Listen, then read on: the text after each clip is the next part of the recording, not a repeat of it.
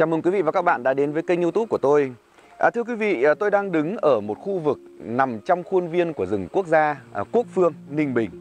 À, Và bây giờ là lúc mà có thể nói là những giọt bình minh đầu tiên của một ngày đang lên. À, Ở xung quanh của tôi là một mùi ngai ngái của cây cỏ sau một đêm sương. Ở xa xa thì tôi nghe thấy tiếng nước chảy Và cả tiếng của những loài côn trùng vo ve bên tai mình nữa có thể nói đây là một khoảnh khắc thật là kỳ lạ, một khoảnh khắc uh, đầu tiên của một ngày. Trong khoảnh khắc đầu tiên của một ngày thì chúng ta thường có những ý nghĩ và việc chúng ta chia sẻ với nhau những ý nghĩ một cách ngẫu nhiên thôi, trôi trong đầu óc chúng ta, đôi khi cũng để lại thật là nhiều suy ngẫm.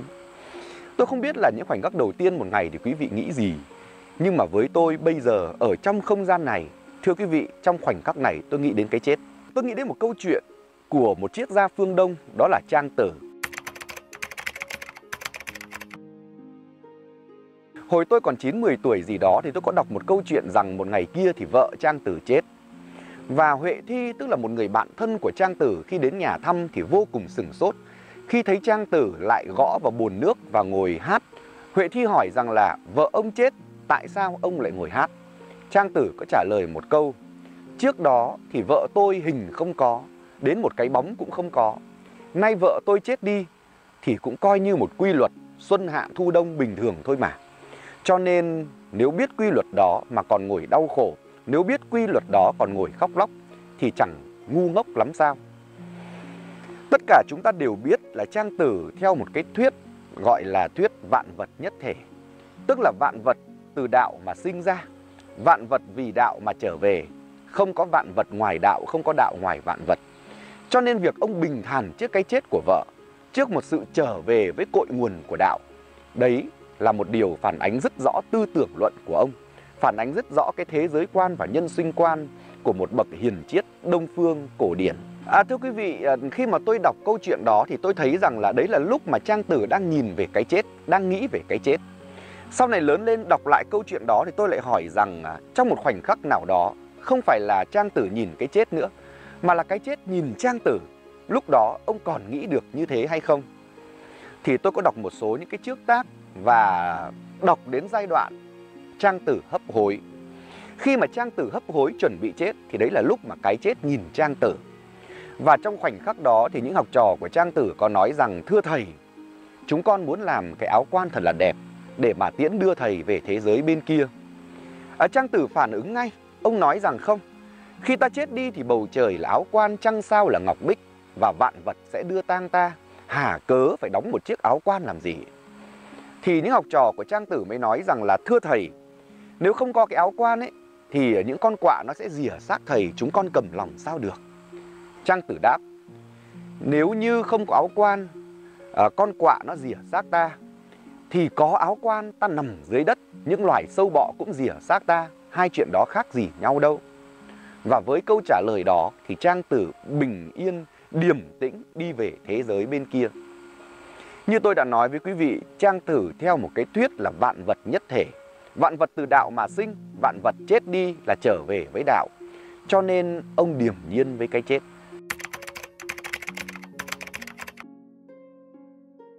Thưa quý vị, chúng ta vừa nói đến cái chết của một nhà hiền triết phương Đông, đó là Trang Tử.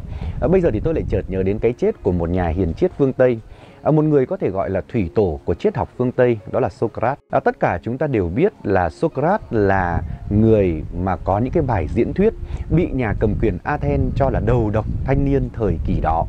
Tóm lại là tư tưởng của Socrates và những bài diễn thuyết của ông thì mâu thuẫn nghiêm trọng với những nhà cầm quyền Athens, à, tức là Hy Lạp bây giờ. Và vì điều đó cho nên ông đã bị bỏ tù. À, có nhiều truyền thuyết thì nói về câu chuyện Socrates ở trong tù thì đều khẳng định ông khoảng lúc đó thì ông vào khoảng 70 cho đến 72 tuổi.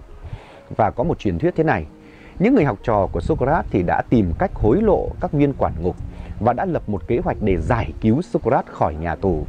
À, nhưng quý vị biết không, Socrates từ chối quyết định ở trong tù, chết trong tù chứ quyết định không rời khỏi nhà tù như những gì mà các học trò của mình mong muốn.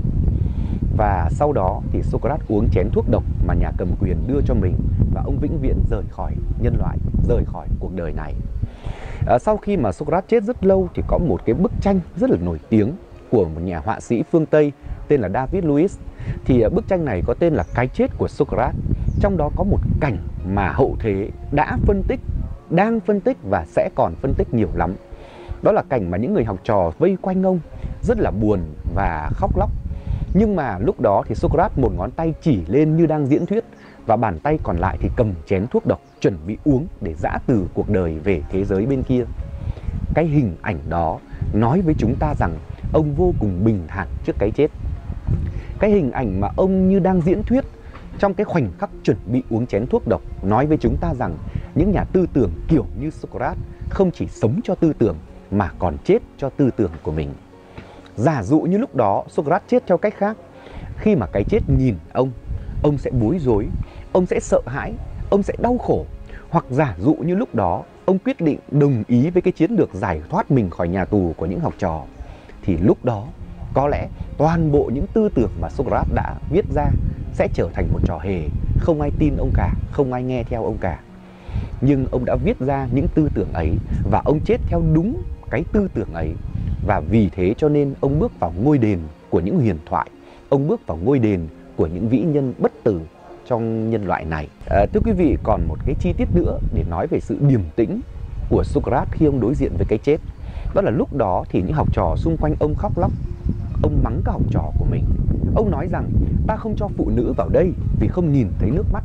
Các ngươi không phải là phụ nữ mà các ngươi lại khóc thế này à? Và sau đó ông còn nói với học trò của mình một câu kinh điển. Các ngươi chút nữa đây chỉ chôn cái thể xác của ta thôi mà. Thưa quý vị, có bao nhiêu con người trong cái khoảnh khắc mà cái chết nhìn mình lại an ủi ngược trở lại những người đang sống như thế. Có lẽ người ta phải điềm tĩnh lắm, người ta phải bình thản lắm trước lưỡi hái tử thần, người ta mới có thể nói được những câu nói như vậy. À, thưa quý vị, chúng ta đã nói đến những khoảnh khắc mà cái chết đã nhìn những triết gia rất là nổi tiếng ở cả phương Đông lẫn phương Tây. Bây giờ chúng ta sẽ không nhìn đến những câu chuyện của những triết gia nữa, mà chúng ta sẽ nhìn đến câu chuyện của một nhà khoa học. Câu chuyện này bắt nguồn từ một bản tin trên một tờ báo của nước Pháp năm 1888. Bản tin này viết rằng tiến sĩ Alfred Nobel, người trở nên giàu có bằng việc buôn bán cái chết, đã chính thức qua đời ngày hôm qua. Ồ, một bản tin như vậy khiến cho rất nhiều người lúc đó bàng hoàng. Bởi vì thế giới năm 1888 thì Alfred Nobel là một người rất nổi tiếng. Ông là một người Thụy Điển. Ông nổi tiếng bởi những phát minh, bởi những sáng chế của mình. Ông nổi tiếng bởi công việc kinh doanh giàu có của mình. Và một trong những phát minh khiến ông trở nên giàu có đó là phát minh ra thuốc nổ. Như vậy khi hay tin Nobel qua đời, khi hay tin người làm ra thuốc nổ qua đời, khi hay tin người mà làm ra một cái chất khiến cho người khác phải chết qua đời thì một tờ báo Pháp đã viết tin như vậy. Nhưng thưa quý vị, tờ báo này đã nhầm. Họ lấy thông tin nhầm và họ viết nhầm. Người chết lúc đó không phải là Alfred Nobel mà là Ludwig Nobel, anh trai của ông. Và như thế thì Alfred Nobel là một người có một cái cơ hội, tôi không biết là hạnh phúc hay đau khổ nữa, nhưng đấy là cơ hội là một trong những người hiếm hoi trên nhân loại này được đọc một bản cáo phó viết nhầm cho cuộc đời mình. Và chính cái khoảnh khắc đọc cái bản cáo phó viết nhầm đó thì một con người khác trong Nobel được gọi ra. Trong cái khoảnh khắc đó ông mới chợt nghĩ rằng thôi chết rồi, sau này mình chết đi, hậu thế sẽ nhớ mình, sẽ nói đến mình như thế nào đây? Hậu thế sẽ nói đến mình rằng mình là một người phát minh ra thuốc nổ. Hậu thế sẽ nói đến mình rằng mình là một người buôn bán tử thần. Hậu thế sẽ nói đến mình rằng mình trở nên giàu có nhờ việc buôn bán cái chết.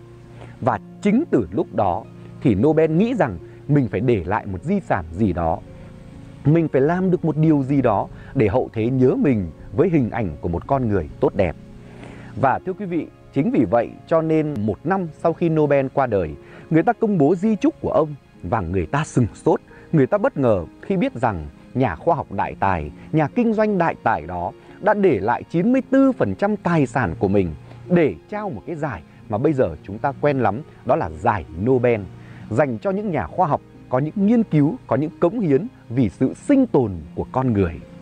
Thưa quý vị, như vậy là cái khoảnh khắc mà cái chết nhìn Nobel, một cái chết hiện hình qua một bản cáo phó viết nhầm đã đánh thức một con người khác của Nobel và nhờ thế hậu thế đã nhắc đến Nobel như một người đóng góp cho sự sinh tồn của nhân loại. Chúng tôi chợt nhớ đến một câu chuyện khi mà Nobel còn sống, khi ông 30 tuổi. Đấy là khi mà ông vẫn đang tìm tòi, nghiên cứu để tìm ra thuốc nổ. và trong quá trình thí nghiệm thì cái phòng thí nghiệm của ông đã bị nổ và khi cái phòng thí nghiệm bị nổ thì có 5 người đã chết. Một trong năm người đó là Emily Oscar Nobel là em trai của ông. Và lúc đó thì thế giới phản ứng chuyện nghiên cứu thuốc nổ vì thế giới nghĩ rằng việc nghiên cứu thuốc nổ sẽ khiến tạo ra nhiều cái chết tiếp theo. Nhưng bất chấp tất cả những phản đối đó, Nobel vẫn đi theo con đường nghiên cứu của mình, vẫn tìm ra thuốc nổ, vẫn giàu có nhờ thuốc nổ. Chỉ đến cái năm 55 tuổi khi mà đọc một cái bản cáo phó viết nhầm như chúng tôi vừa kể thì Nobel mới thay đổi suy nghĩ. Như thế chúng ta thấy rằng cái khoảnh khắc mà cái chết nhìn mình có một Nobel rất khác trong một Nobel ngày thường. Thưa quý vị, tất cả chúng ta đang sống, chúng ta sẽ sống và chúng ta rồi sẽ chết. Chúng ta sống như thế nào và chúng ta chết như thế nào? Đấy là một câu hỏi lớn mà mỗi người cần phải đặt ra cho chính mình. Và tôi nghĩ rằng trong từng khoảnh khắc của đời sống, khi chúng ta sống, chúng ta nghĩ đến cái thời khắc cuối cùng mà cái chết nhìn mình. Chắc chắn cái ý nghĩ đó sẽ khiến cho chúng ta kiến tạo một đời sống có ý nghĩa hơn, một đời sống bình yên hơn. Và thưa quý vị, uh, có lẽ là không ai dạy được ai, không ai có thể nói cho ai về việc chúng ta phải sống như thế nào. Nhưng bằng việc chia sẻ với nhau những suy nghĩ như thế này, như trong một buổi sáng ngày hôm nay, tôi ờ, chia sẻ với quý vị cái dòng suy nghĩ miên man của tôi về một cái chết khi tôi đứng trong ở một cái khuôn viên như thế này, trong một không khí như thế này, trong một cái giọt bình minh đang lên như thế này, biết đâu đấy nó cũng góp cho quý vị một tiếng nói, nó cũng góp cho quý vị một mạch suy nghĩ nhỏ bé nào đó chăng? Trước khi chia tay quý vị thì tôi muốn kể lại một câu chuyện ngắn thôi, không phải của những nhà hiền triết phương Đông phương Tây, cũng không phải của những nhà khoa học lỗi lạc như Alfred Nobel nữa, mà đấy là một ý của một người Việt Nam, đó là một ý thơ Xuân Diệu. À, khi mà Xuân Diệu còn sống thì ông đã tưởng tượng ra một ngày ông sẽ chết. Và ông suy nghĩ rằng khi chúng ta sống tha thiết với cuộc đời, chúng ta thả hồn tận hiến với gió trăng, thì khi chúng ta chết đi, người hậu thế nhìn gió ấy, nhìn trăng ấy, sẽ thấy hồn của ông, sẽ thấy cái phần của ông ở trong gió, trong trăng. Ông viết bài thơ tưởng tượng ấy có tên là Tình Mai Sau. Trong đó có một đoạn rằng Ta vẫn có hồn ta trong gió ấy Vì khi xưa ngồi nghĩ dưới trăng sao Từng mảnh biếc hồn ta trăng đã lấy Gió đưa đi đến tận tháng năm nào Chúng tôi cảm ơn quý vị đã quan tâm theo dõi chương trình của chúng tôi ngày hôm nay à, Nếu quý vị có những nghiệm sinh, có những suy nghĩ về cái chết Quý vị có thể chia sẻ cảm xúc của mình Có thể chia sẻ suy nghĩ của mình bằng những dòng comment ở dưới clip này Và nếu thấy kênh youtube của chúng tôi có ý nghĩa, Quý vị có thể ấn nút đăng ký để có thể cập nhật và theo dõi những chương trình tiếp theo. Chúng tôi xin chào và chúc quý vị có những ngày sống bình an và giàu ý nghĩa.